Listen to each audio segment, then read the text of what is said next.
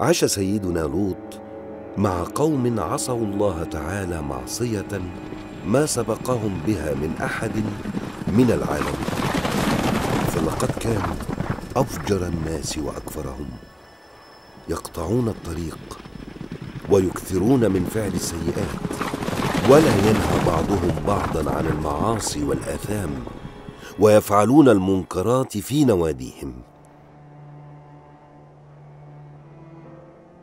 وكانوا يقيمون مصارعات الديكة ويستمتعون بذلك فقلوبهم أقسى من الصخر.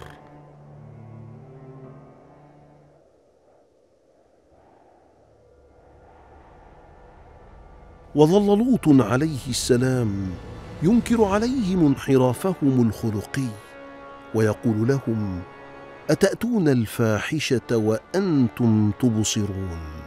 ألم يخلق الله لكم من أنفسكم أزواجا لتسكنوا إليها؟ بلى.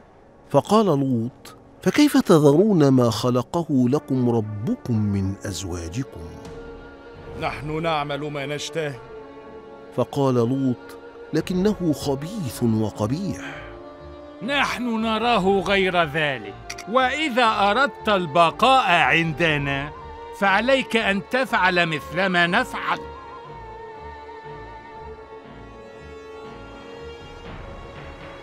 ماذا نفعل مع لوط وما يدعونا إليه؟ هل نتركه؟ لقد اعتزلنا وسكن أطراف القرية. لقد أحسن صنعا بذلك.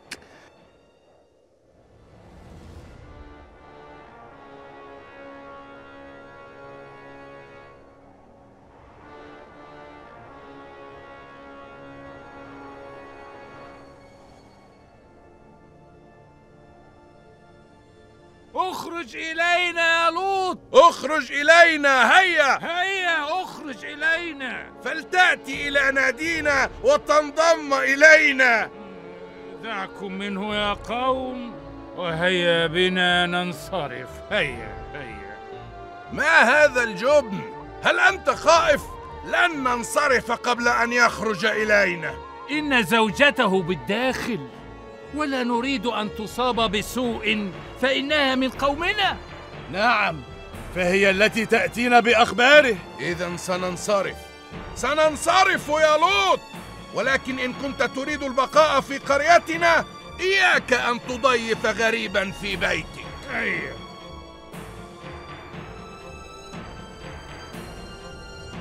ودعا لوط ربه قائلا. رب نجني وأهلي مما يعملون. فأرسل الله ملائكته ومروا وهم في طريقهم لقوم لوط على إبراهيم عليه السلام.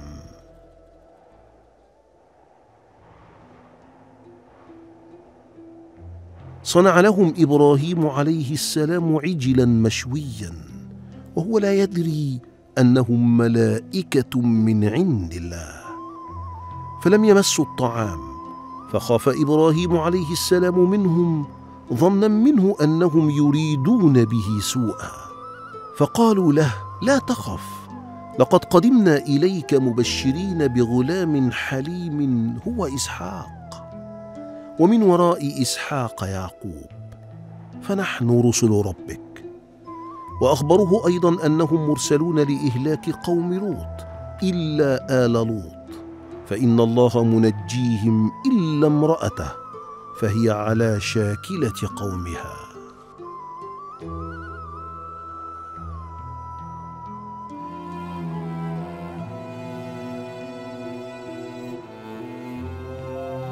دعا لوط عليه السلام قومه لتوحيد الله تعالى وبين لهم عواقب ما يفعلونه.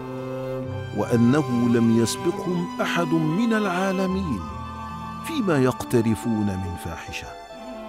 وبأن عليهم وزر من سيأتي فعلتهم من بعدهم. لقد وجدنا آباءنا كذلك يفعلون. وماذا تريدنا أن نفعل؟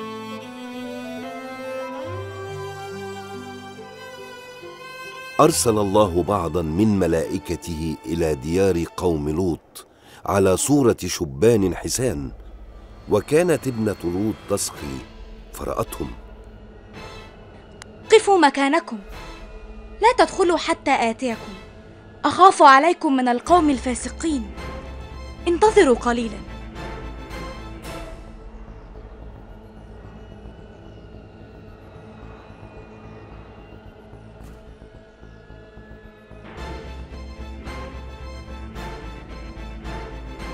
يا أبت أرى فتيانا على باب المدينة. ما رأيت أحسن منهم وجوها. أخاف أن يأخذهم القوم. فلقد نهوك أن تضيف رجلا.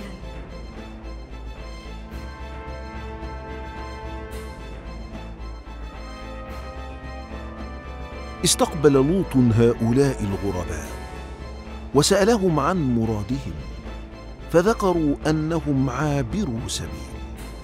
وطلبوا إليه أن يستضيفهم فتحرج عليه السلام أن يرد الضيافة وكان يقطن على أطراف القرية وحاول أن يثنيهم عن الدخول إلى قرى سدوم وقال لهم إن هذه القرية قرية سوء وخبث.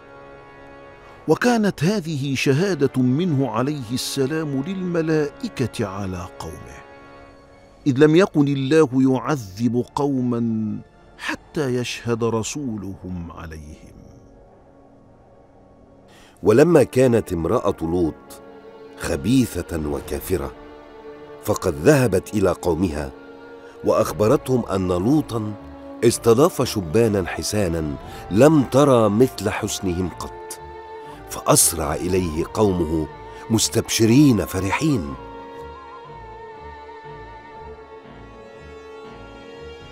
قال لوط بسم الله الرحمن الرحيم. قال لو أن لي بكم قوة أو آوي إلى ركن شديد. حين قال نبي الله هذه الكلمات أخبره ضيوفه أنه يأوي إلى ركن شديد وهو الله. وقالوا له بسم الله الرحمن الرحيم. قالوا يا لوط إنا رسل ربك لن يصلوا إليك.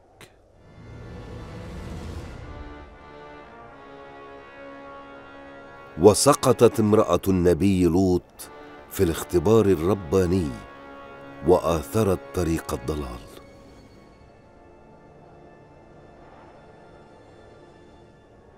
خرج إليهم لوط متعلقا بأمل أخير. وبين لهم أن النساء أطهر من الرجال إلى الرجال. فقال لهم بسم الله الرحمن الرحيم.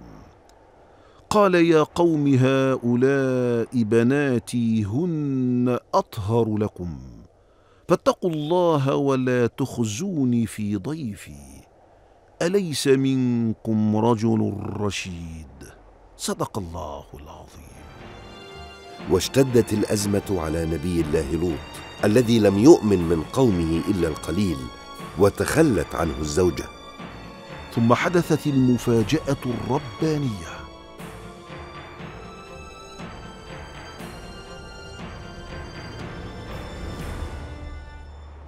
وتبدى جبريل في صورته الملائكية ونشر جناحيه. وضرب بها القوم فطمس أعينهم وأعماهم. وأمر الملائكة لوطا أن يسري بأهله ليلا وتخلفت امرأته لأنها ليست من أهله. فقد أعانت عليه المفسدين. خرج لوط عليه السلام مع ابنتيه من هذه القرية الضالة وكانت معهم امرأته فلما سمعت بالعذاب من خلفها التفتت فأتتها حجارة من السماء فأهلكتها. ثم رفع جبريل عليه السلام تلك القرى عن الأرض بطرف جناحه فجعل عاليها سافلها وأمطر الله عليهم حجارة من الطين. كان كل واحد منها مقدرا ومرسلا باسم صاحبه الذي ستسقط عليه ولم يبقى أثر بعدها لأي من تلك القرى.